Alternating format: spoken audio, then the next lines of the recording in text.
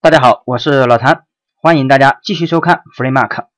上一次课我们给大家介绍了 FreeMark 的两个比较核心的概念，一个叫模板，一个叫数据模型。那么在后边的课程里边，我们将进行更为详细的知识点介绍。那么在具体写代码之前呢，我们想先做一些准备工作。那首先呢，我们为了提高开发的效率，我们将对开发工具 MyEclipse 来进行一个插件的安装。这样的话呢，在编写模板的时候呢，可以有语法高亮，也可以有提示。第二个呢，我想对获取模板与获取输出这两个小功能做一些简单的方法的封装，在后边我们编写代码的时候会更加的简洁。好，那我们的目标呢很清楚，第一件事情，我们先来看插件如何安装。打开 FreeMark 的官网呢，我们可以看到在 Download 的底下有一个 Edit ID Plugins。这里呢，我们使用的是 MyEclipse。当然，MyEclipse 由于是基于 Eclipse 开发的，所以呢，我们找这一段描述，我们要求找的是 JBoss Tools。那么在 MyEclipse 我这个2014版本里边呢。我们使用 install from catalog。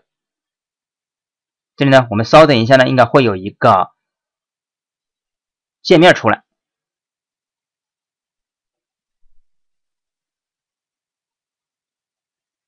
接着呢，在 find 里边，我们呢把刚才我们拷贝的 JBoss Tools 呢输进去，让它进行搜索。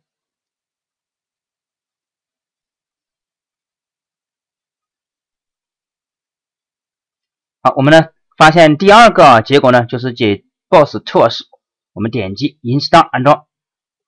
好，展开之后呢，我们可以看到有这么多的工具，我们全部取消。我们去找的是 FreeMark 的 ID，Confirm，点击接受，Finish。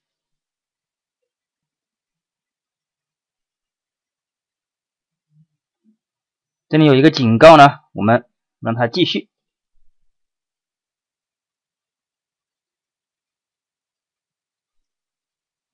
然后装完插件之后呢，会要求重启一下 Eclipse。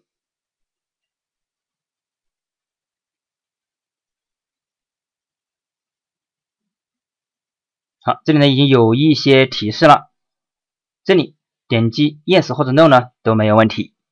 我们来来看一下。对于我们之前写的模板文件，我们双击一下，看它有没有关联上相应的编辑器。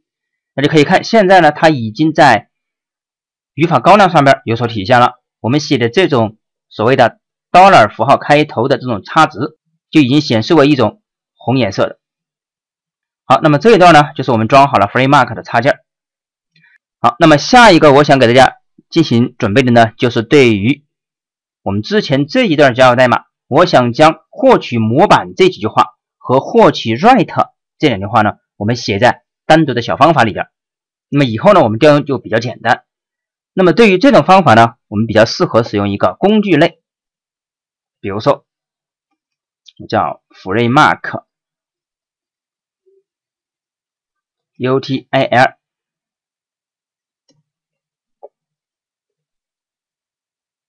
我呢写一个静态的方法，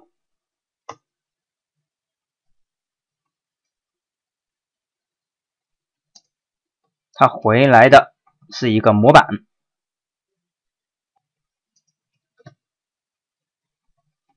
参数呢就是一个模板的名字。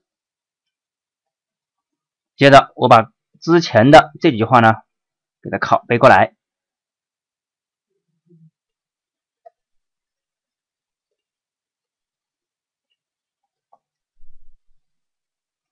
异常 exception，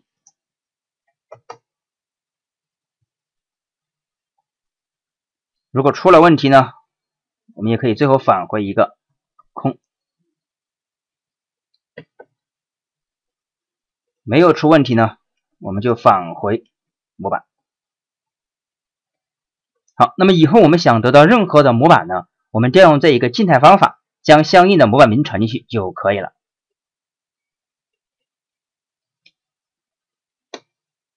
好，这是第一个方法。第二个方法呢，我们可以得到一个 right。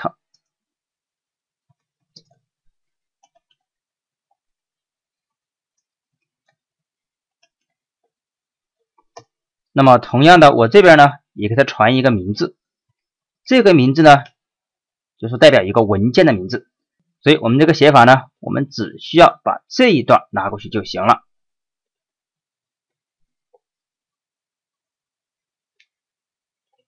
改成 name，return 一下 right 异常，我们呢处理一下。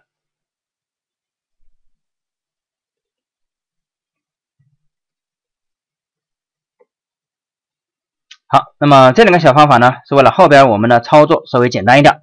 那有了这两个小静态方法呢，我们 base 课点 Java 里边，你就可以这么来写。这一段都不要了，我们直接使用 FreeMark UTL 点 getTemplate 把我们的模板名传进去。Write 呢，我们也可以使用点 getWrite 将我们的静态文件名传进去。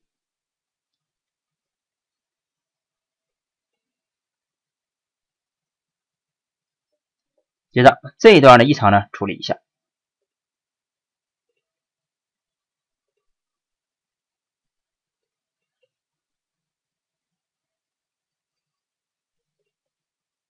好，这样这样的写法呢，会比刚才稍微的简洁一点，特别是对于模板的获取和 write 的获取。当然，对于 process 呢，我们还是需要显示的调用。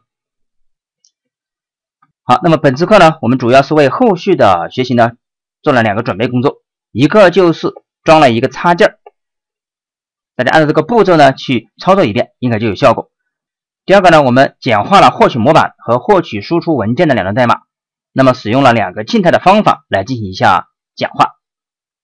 好，本次课我们就讲到这里，谢谢大家。